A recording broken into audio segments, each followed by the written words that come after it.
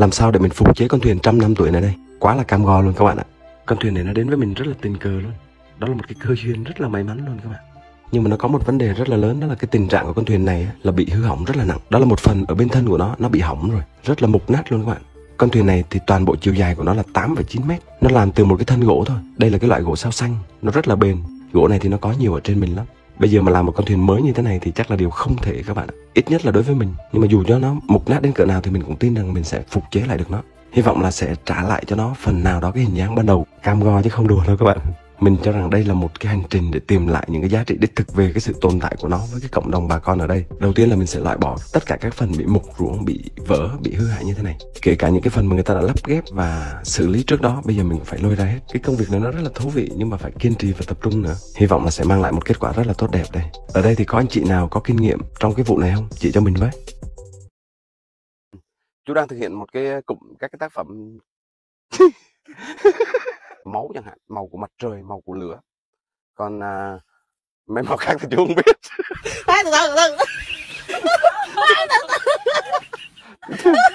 Hy vọng đây sẽ là một gợi ý về chuồng chim bồ câu nếu các bạn muốn làm. Cái vật liệu để làm cái chuồng này á các bạn chúng ta có thể tận dụng từ các cái phần gỗ thừa trong cái quá trình xây dựng này. vừa đỡ tốn kém mà lại đẹp nữa các bạn ạ. Ở đây việc dùng cả những cái phần ván cũ á các bạn. Bản thân nó có những cái vân gỗ rất là đẹp luôn á chuồng này thì mình làm rất là nhiều khoang, nên tụi nó tha hồ lựa chọn để xây cái tổ ấm cho mình luôn. Hy vọng là tụi nó sẽ thấy ấm áp và bình an khi ở trong cái ngôi nhà xinh xắn như thế này nhé.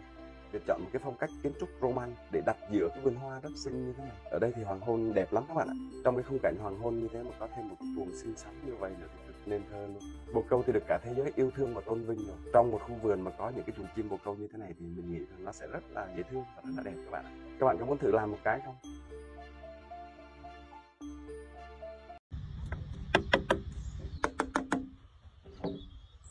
Chú Việt ra nhiều video đi.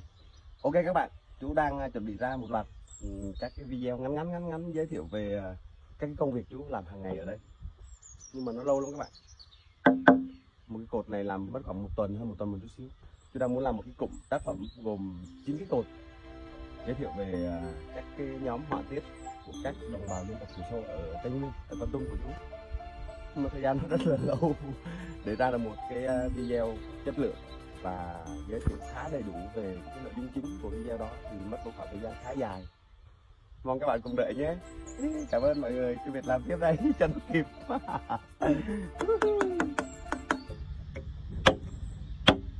người ta chặt cây đang sống để tạc tượng và bảo là thổi hồn vào đó. Còn chú thì tận dụng những thứ tưởng chừng như vứt đi để cho chúng sống lại. Đấy mới là nhân văn. Đó là một lời động viên của một bạn trẻ làm mình rất là xúc động các bạn vừa qua thì mình có làm một loạt tượng trang trí cái điều mà mình muốn làm từ rất là lâu thì giờ đã có thời gian để thực hiện. Những cái khúc gỗ ở trên mình đó, theo dòng nước lũ trôi từ thượng nguồn sông Bô trôi dạt về các bạn. Thường thì bà con sẽ dọn dẹp và đốt sạch chúng đi cùng với cỏ rác rồi trồng mì trồng khoai trồng sắn vậy đó. Tiếc lắm các bạn cho nên mình cho anh em thanh niên trong làng đi kéo hết về. Mình cứ để đó sau này làm gì mình làm thôi. Cái công cuộc gom nhặt và vận chuyển về đến vườn nó thì cực kỳ là gian nan luôn các bạn. Nhưng mà có lẽ là các bạn hãy cảm nhận được cái tình yêu của mình dành cho những cái khúc gỗ như vậy cho nên các bạn rất là cố gắng mà thường làm rất là vui vẻ. Có những công gỗ rất là nặng luôn, rất là lớn, nhưng mà các bạn cũng cố gắng đưa về vườn bằng được. Nhìn từng khúc lũa các bạn, mỗi cục nó có một mảng hình hài rất là khác nhau. Việc đầu tiên là mình phân loại tụi nó ra, theo từng nhóm như vậy. Tùy vào cái thế dáng của nó các bạn, để mình quyết định là sau này mình sẽ làm vào việc gì. Mình thì sống ở tây nguyên khá là lâu rồi, tìm hiểu rất là nhiều về văn hóa và cái con người ở tây nguyên. Tượng gỗ tây nguyên nó có một cái bề dày về văn hóa và gắn kết rất là mật thiết với đời sống của người dân nơi đây các bạn nó như là một kho tàng nghệ thuật vậy á chứa đựng rất là nhiều cái tín ngưỡng dân gian và nó phản ánh cái đời sống tâm linh của bà con đồng bào tây nguyên nữa nó thể hiện rất là rõ nét trong cái không gian mà được sử dụng để trang trí á. cái nhóm thứ nhất là có một cái tên